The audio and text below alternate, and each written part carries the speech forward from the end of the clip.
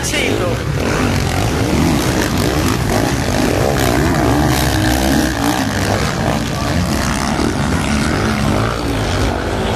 Kasper Jensen fører an.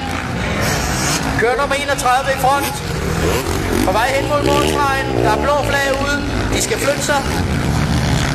Omgangskørende. Og Kasper Jensen med nummer 31, der fører an. Og Allan Thiel med nummer 65. Den kommer helt op til Allan Thiel nu. Side om side runder de her op i publikumsvinget. Kører nummer 65, Alle